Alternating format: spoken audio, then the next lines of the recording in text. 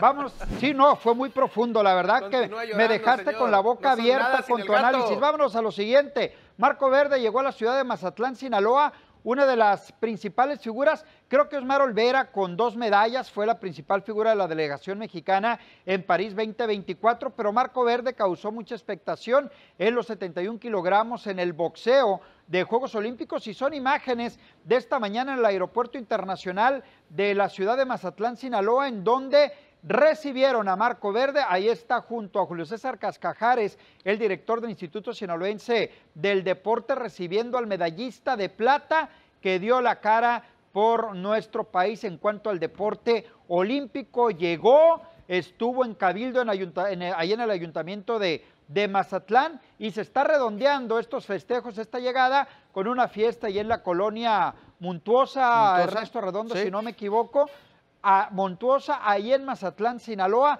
muy merecido me parece para Marco Verde. Sí, totalmente, ¿no? La banda que no tenía que faltar en el aeropuerto internacional de Mazatlán, ahí va a sonar la banda todo lo que da, ese corrido de Mazatlán, el que ya se ha venido escuchando durante la semana, obviamente para enmarcar lo hecho por Marco Verde, ¿no? En París 2024, una fiesta totalmente Mazatlán, lo que se vivió el día de hoy, y qué mejor, ¿no? Un medallista olímpico, el primero, si no me equivoco, el primer medallista olímpico que hay en Mazatlán, un deportista que le llevó muy en alto el nombre de México y el nombre de Mazatlán y sobre todo la fiesta, ¿no? En la colonia Montuosa, ya lo dices, Avisaí, esa parte importante de dónde salió la raíz de Marco Verde, todo mundo está celebrando y está contento por lo hecho por el sinaloense.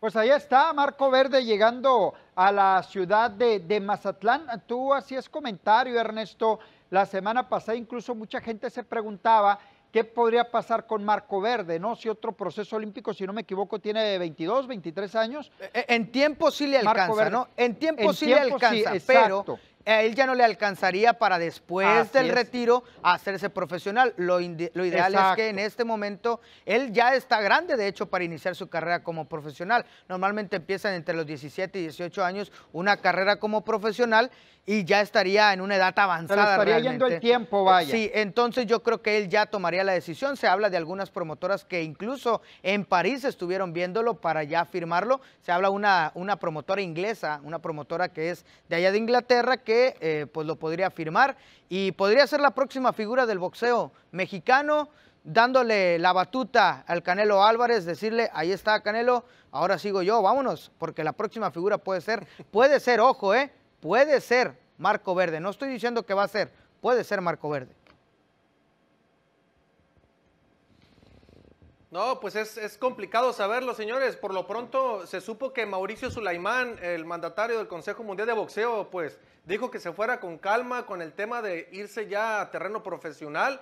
Pues vamos a ver hasta dónde, hasta dónde Marco Verde llega antes de debutar en lo profesional, pero el tiempo dirá y solamente el boxeo que tenga Marco Verde, si es o no un nuevo campeón mexicano. Efectivamente, pues ojalá por lo pronto disfrutar la medalla de plata en su casa con su gente. Ya comenzó esa fiesta muy temprano a su llegada al aeropuerto en Cabildo y ahora en su colonia.